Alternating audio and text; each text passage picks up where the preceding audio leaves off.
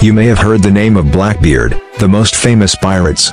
But did you know that, in the same century there was also a lady pirate, who was very powerful. She commanded 1,800 pirate ships and had 80,000 pirates working under her. This lady born in China, and the name is Ching Shih, and is known as the Pirate Queen of China. She was born in poverty-stricken society, and work as a sex worker to supplement the family income. In 1801, notorious pirate commander Zheng Yi encountered Ching Shih, and he married her because of her beauty.